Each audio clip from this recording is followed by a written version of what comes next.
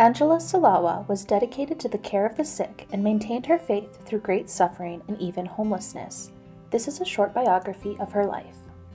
She was born into a poor Polish family in 1881. She was a sickly child, but she tried her best to help her family. As a child, she was obedient and pious. As a teenager, she left home to work as a maid. It was here that her piety began to wane as she felt drawn to more worldly pursuits.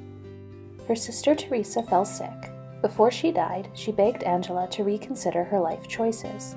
Soon after, while dancing at a wedding reception, Angela saw a vision of Christ. He asked her how she could prefer dancing to following him. She immediately went to a church to pray, and this changed the course of her life. She considered pursuing a religious vocation, but her poor health prevented her from doing so. She remained a maid, taking a private vow of purity and virtue when she was 19. Her work as a maid continued, but she suffered a breach between herself and her family. This breach led her to identify with St. Francis of Assisi. She joined the secular Franciscan order in 1912. When the First World War broke out, she started work nursing soldiers and prisoners of war.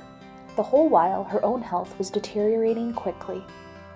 In 1916, her employer accused her of stealing and she was fired. She was penniless, homeless, and in increasingly poor health. She was admitted to a hospital but discharged because she outwardly appeared to be well.